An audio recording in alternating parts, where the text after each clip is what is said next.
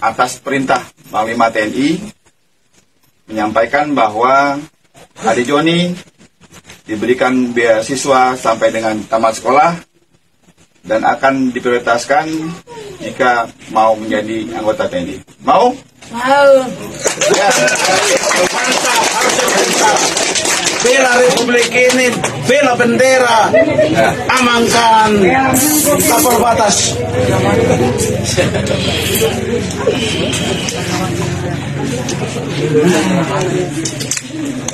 Teman-teman, jumpa lagi bersama saya di Freddy Kako Channel. Ya, video saya kali ini saya ingin menanggapi ada sebuah berita yang sedang viral, yaitu Joni Kala. Teman-teman, ingat tidak ketika itu saat uh, 17 Agustus ya, di mana terjadi uh, bendera yang tidak bisa dinaikkan ya, di Atambua, Nusa Tenggara Timur. Dan waktu itu ada seorang anak kecil namanya si Joni ya. Seperti yang teman-teman lihat pada video ini. Saat itu dia memanjat tiang bendera lalu berhasil ya. Berhasil untuk membuat tali itu bisa aman kembali sehingga upacara bendera itu bisa uh, terus berjalan. Nah, efek dari apa yang dilakukan oleh si Joni ini teman-teman, saat itu langsung uh, pemimpin tertinggi dari TNI Angkatan Darat di Atambua tentunya langsung memberikan apresiasi dan bahkan ada pesan khusus dari Bapak Presiden Jokowi untuk memberikan beasiswa kepada Joni kemudian ya diprioritaskan untuk diterima menjadi anggota TNI. Tapi apakah uh, rekomendasi yang diberikan kepada Joni itu berjalan mulus. Ternyata tidak semudah yang Joni bayangkan. Jadi baru-baru ini ketika Joni uh, melakukan atau mengikuti seleksi uh, eh, TNI, ternyata dia tidak lolos ya. Karena ada satu persyaratan yang tidak bisa dipenuhi oleh Joni. Nah ini tentunya yang menjadi uh, viral kembali, nama Joni kembali terangkat. Dan kemudian dia melakukan klarifikasi. Mari kita simak bersama-sama. Selamat sore, perkenalkan nama saya Yohanes Andekala yang biasa dipanggil Joni. Saya berasal dari perbatasan Indonesia Timur Leste, Motain, Kabupaten Belu, Kota Tambua.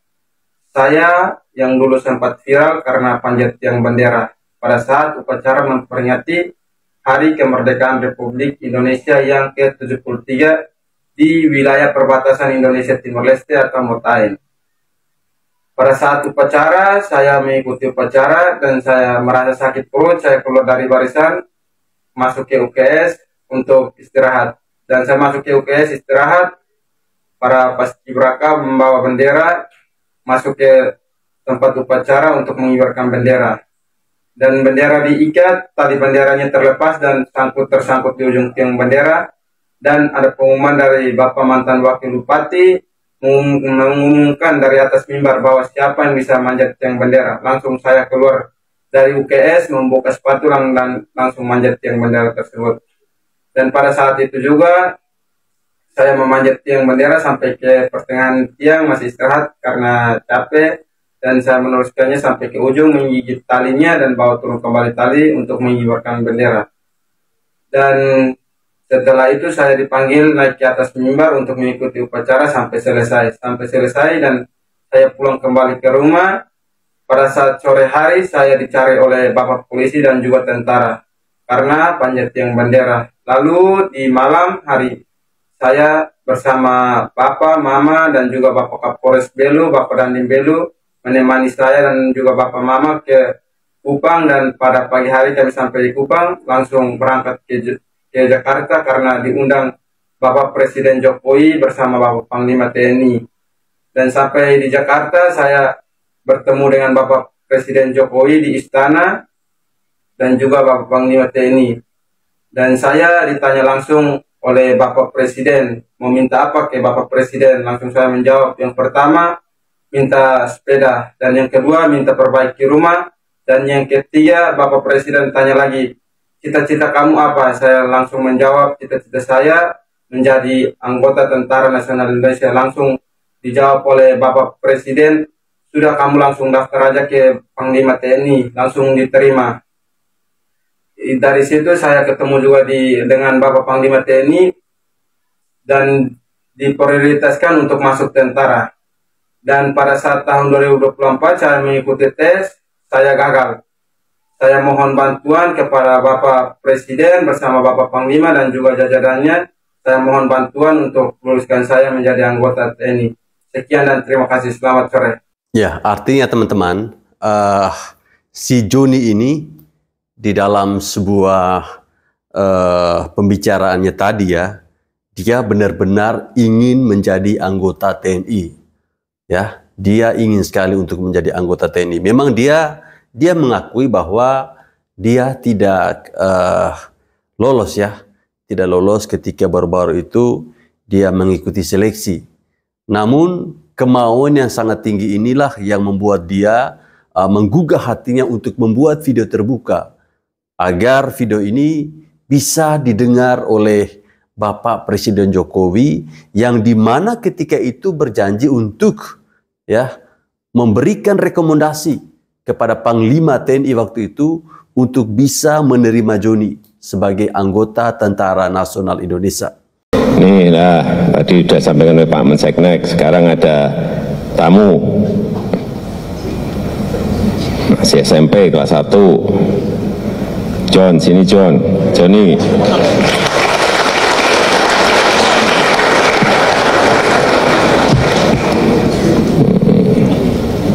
ya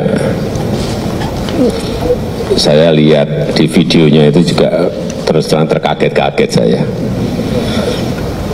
John ini kan naik, tiangnya kan kecil banget itu. Dia naik dan yang dinaik itu bukan bukan tiang yang pendek, tiang yang tinggi sekali. Saya cek berapa meter, kurang lebih 20 meter, tinggi sekali itu, 20 meter itu. Yang ada di sini ada yang berani tidak naik seperti Joni tiang yang itu loh ya, jangan tiang yang lain. Kalau tiang bendera yang ada di sana gede banget, mungkin banyak ya. Ini kecil banget tiangnya. Kalau ada yang berani naik, tiangnya yang dinaiki Joni, saya beri sepeda.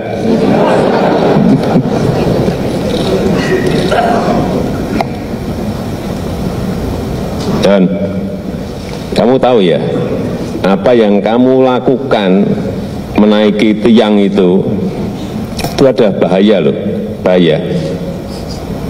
Terus terang saya waktu melihat itu mikir khawatir dan cemas. Gimana?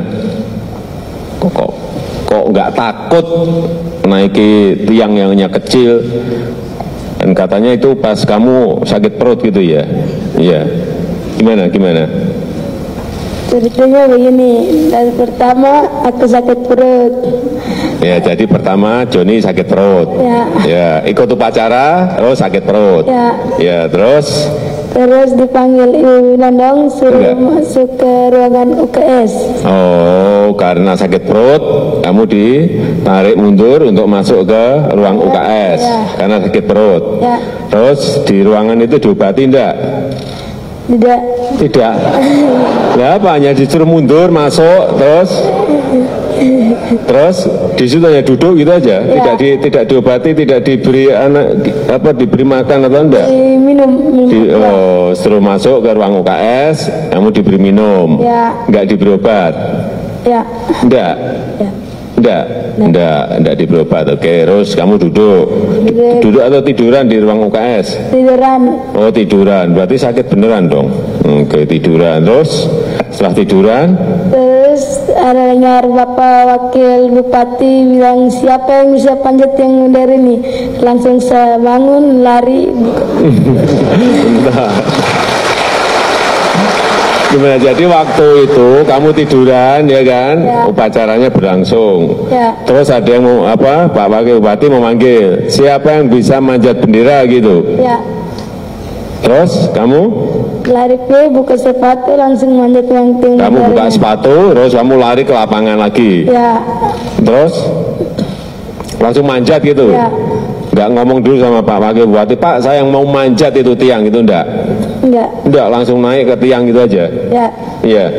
Kamu yakin bisa menaikin sampai ke puncak tiang itu? Yakin? Yakin. Kenapa? Kenapa kamu yakin? Oh, saya lihat kamu juga baru setengah kelihatan udah ngos-ngosan gitu. Iya enggak, kamu setengah itu kan berhenti kan? Ya. Berhenti. Kenapa berhenti? Capek. Capek. Iya, saya lihat itu. saya lihat waktu naik itu setengah kamu udah berhenti itu udah berarti ya, ini udah ngos-ngosan, udah capek ini. Terus setengah berhenti dulu, terus naik lagi. Ya. Kamu punya keyakinan bahwa akan sampai di puncak? Punya keyakinan untuk mencapai. Yakin? Ya. Yakin? Yakin. Kenapa yakin? Pak kamu sebel- sebelumnya sudah sering manjat-manjat tiang atau manjat apa gitu? Manjat pohon atau? hmm. Manjat pinang biasa. Oh, biasa manjat pinang. Sehari berapa kali manjat pinang? Hmm? Atau sebulan berapa kali atau seminggu berapa kali? Biasa satu kali manjat manjat pinang satu kali. Sekali sebulan? Ya. Sekali sebulan manjat pinang gitu? Ya. Pinang itu dengan yang tiang bendera itu tinggi mana ya? Ting bendera. Tinggi tiang bendera ya? Ya. Saya ya berarti kan tinggi banget. Dan Pinang kan pohonnya lebih gede kan? Ya. Hmm. Ya, terus setelah manjat kamu setengah naik lagi sampai di puncak tuh ngapain kamu puncak bendera itu? Tarik tali benderanya bawa turun pakai gigit. Talinya kamu ambil, Ya. terus Gigit. kamu gigit, Ya. Joni gigit gitu, Ya. terus baru Ya. melorot ke bawah. Ya. Melorot ke bawah itu juga di tengah lagi kamu berhenti lagi itu. Iya. Ya. Kenapa berhenti? Waktu melorot di tengah kamu berhenti lagi. Capek juga. Ya. Capek. Atau apa? Capek. Capek. Capek. Terus melorot, melorot, melorot. Tetap kalau sampai bawah tak- tetap kamu gigit. Ya. Iya. Ya. Hmm, terus setelah sampai bawah, Dipanggil Bapak Wakil Bupati untuk berdiri dengan Bapak Wakil Bupati. hmm, terus benderanya bisa naik. Ya. Benderanya bisa naik. Hmm.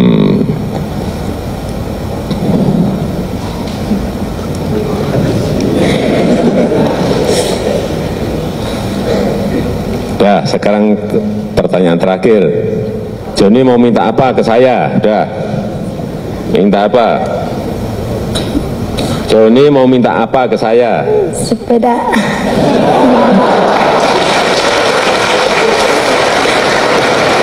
Kamu tuh jauh-jauh dari Belu ke Jakarta hanya minta sepeda. Apanya itu? Mau minta apa? Mau minta bikinin rumah saja. Nah, loh. Udah, itu aja. Sepeda sama rumah. Ya udah.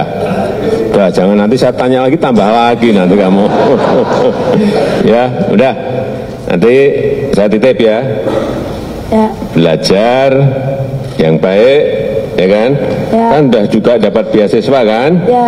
Belajar yang baik, bekerja keras sehingga bisa meraih cita-citamu.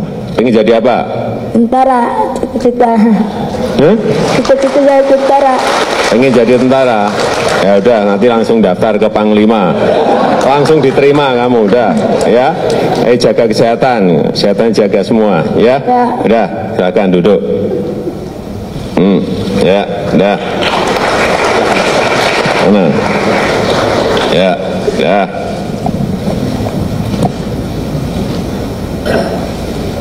Dan ini terkait dengan upacara bendera yang berlangsung kemarin di mana video yang memperlihatkan aksi Yohanes Andekala Marshall memanjat tiang bendera menjadi viral di media sosial. Ia memanjat untuk mengambil tali bendera yang terlepas dari pengaitnya.